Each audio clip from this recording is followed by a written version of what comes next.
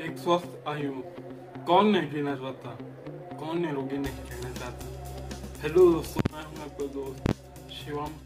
Ayurveda medical और आज के इस वीडियो में मैं आपको महर्षि बागभट्ट के पाँच ऐसे नियम बताऊँगा, जिससे आप एक निरोगी जीवन जी सकते हैं। तो इस वीडियो को अंत तक देखिएगा। और आप अगर इस चैनल पर नए आए हैं तो इस चैनल को लाइक कीजिए सब्सक्राइब कीजिए और अपने दोस्तों के साथ शेयर कीजिए, चलिए शुरू करते हैं। तो नियम नंबर एक, आप जो भी खाना खाए ना, उस पे पवन का स्पर्श और सूर्य का प्रकाश पड़ना अत्यंत आवश्यक है, बहुत ज़रूरी है।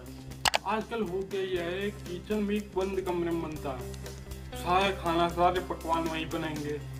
ना तो पवन का स्पर्श वगैरह हो भी या सूर्य की कितने पड़ेगी नहीं। ऐसे में ऐसा भोजन तामसिक हो जाता है। और यही कारण है कि इस युग में लोगों की आयु सौ वर्ष होनी चाहिए। और ये आयु प्रतिदिन घट रही है।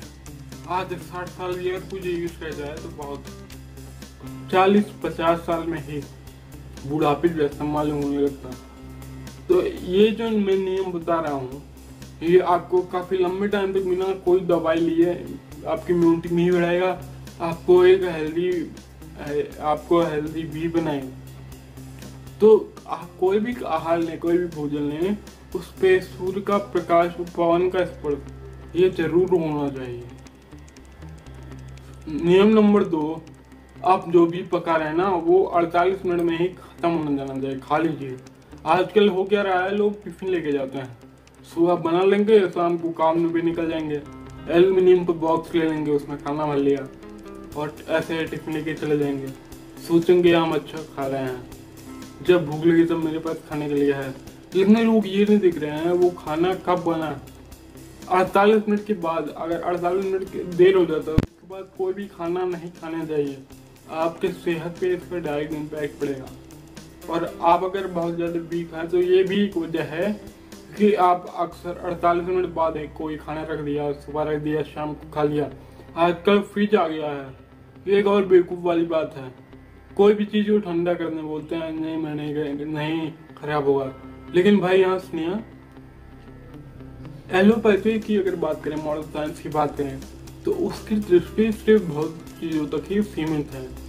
आयुर्वेद से बहुत आगे है। अब ये तम गुण क्या है कैसे आ जाएगा ऐसे आहार में? तो ये बात लैब में नहीं समझ सकते आपने अक्सर ये भी देखा होगा कि जो भी शहर के लोग हैं ज़्यादा ही टिफ़िन वगैरह सिस्टम करते हैं वो बीमार भी बहुत जल्दी पड़ते हैं। लेकिन आप अगर ऐसे किसी क्षेत्र में चले जाएँ, जहाँ यहाँ का चलन नहीं है टिफ़िन का, और जहाँ फ्रेश चीज़ें ही खाते हैं, जो आयुर्वेद के उपदेशों का पालन करते हैं, आप गाँव में चले जाइए। आपको फ़र्क दिख जाएगा कि एक गाँव में रहने वाला, एक लाख गुना हेल्दी है, एक शहर में रहने वाले से सोचने वाली बात है, इतनी सारी सुविधा होने बावजूद भी अगर आप अपना हेल्थ पूरा बिगाड़ रहे हैं तो इसे तरक्की कैसे कहेंगे? तीसरा नियम आप अगर गेहूँ का आटा खा रहे हैं चक्की गेहूँ का आटा खा आप अगर गेहूँ का आटा खा रहे हैं चने का मक्के का बाजरे का मोस्टली गेहूँ का चलिए गेहूँ की बात कर रहे हैं तो खाली पंद्रह दिन जो भी आप स्वा खिला रहे हैं ना गेहूँ वो पंद्रह दिन से ज़्यादा पुराना नहीं होना चाहिए। अगर कोई मोटा अनाज है तो उसके सात दिन से ज़्यादा पुराना नहीं होना चाहिए। आप मोटे तौर पे मान लीजिए कि गेहूँ का आटा पंद्रह दिन से ज़्यादा पुराना नहीं होना चाहिए। इसके लिए आप क्या कर सकते हैं, आप खाली जब भी आप चक्की में आटा पिसवाने जाए तो पंद्रह दिन का ही पिसवाएँ। हर पंद्रह दिन पे आपको आटा बदल देना चाहिए, क्योंकि पंद्रह दिन बाद का आटा भी आपके योग नहीं है। आपको इम्यूनिटी को ही डिक्रीज कर देगा। फिर जैसे कोविड वगैरह जैसे महामारी आएँगे और आप शहरों के लोग का क्या हाल हुआ था ये भी आप देख लीजिए। अमेरिका वगैरह में इतने अच्छे हेल्थ सिस्टम है ना, लेकिन पूरी तरह कमर टूट गए थे और जो गाँव में थे, उनसे जाके पूछ के उनके लिए नॉर्मल सर्दी जुकाम जैसा ही होगा। क्योंकि उनका रहन सहन जो कि इन सब में अभी नहीं ढले हैं, जो आज भी के उपदेशों का पालन करते हैं, आप उनसे जाके पूछिए, उनका हेल्थ कितना अच्छा है। तो मैंने अभी तक तीन नियम आपको बता दिए हैं। कोई भी भोजन हो, उसमें सूर्य का प्रकाश पवन का स्पर्श ज़रूर पड़े अड़तालीस मिनट से ज़्यादा का भोजन आपको नहीं करना है? आपको गेहूँ पंद्रह दिन का पिसवाना है, और हर हर पंद्रह दिन बाद गेहूँ का आटा आपको पिसवाना है। गेहूँ का आटा खाली पंद्रह दिन तक ही चलना चाहिए। चौथा नियम है कि आप अपने शारीरिक श्रम को साठ साल की उम्र तक कम ना होने दें। जैसे एक छोटा बच्चा जन्म लेता है उसके लिए सबसे अच्छा शारीरिक श्रम है कि वो खेल कूद कर, ज़्यादा से ज़्यादा खेले।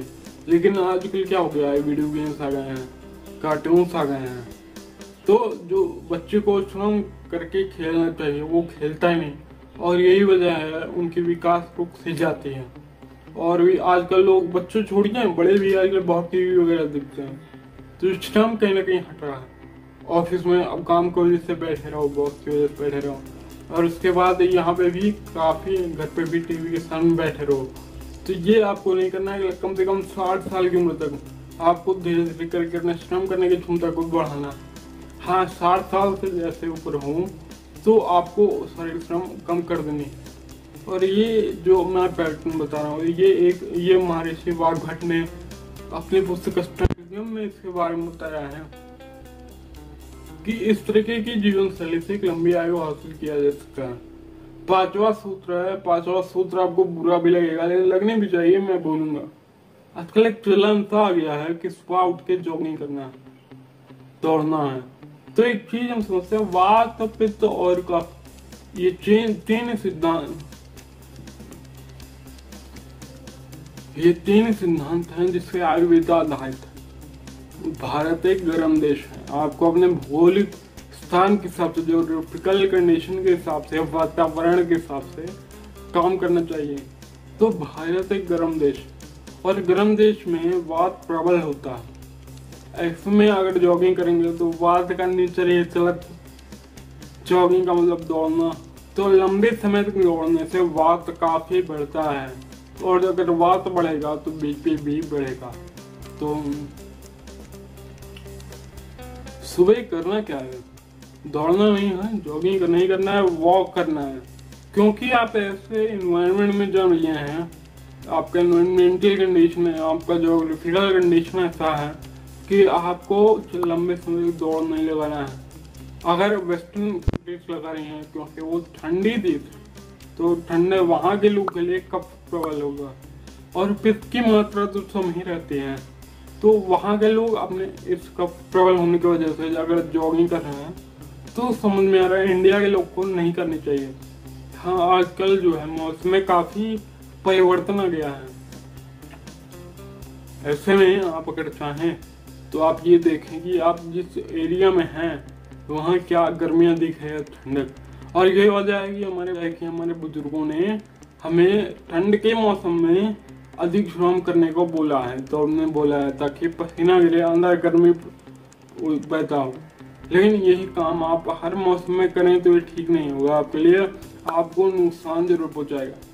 तो ये थे महर्षि वाघभट्ट के पाँच नियम, जो मैंने आपको बताया अगर ये वीडियो अच्छी लगी तो इस वीडियो को लाइक कीजिए, सब्सक्राइब कीजिए, और अपने दोस्तों के साथ शेयर कीजिए। और यहाँ पे जो है मैं अपने आने वाले वीडियोस में ट्राई करूँगा कि आपको मैं बता पाऊँ कि बात क्या है, पित्त क्या है, कफ क्या है, ताकि आप जो है ना, अपना ध्यान रख सकें अपने शरीर पे, अपने हेल्थ पे काफ़ी ज़्यादा फोकस कर सकें। तो मिलते हैं अगली वीडियो में।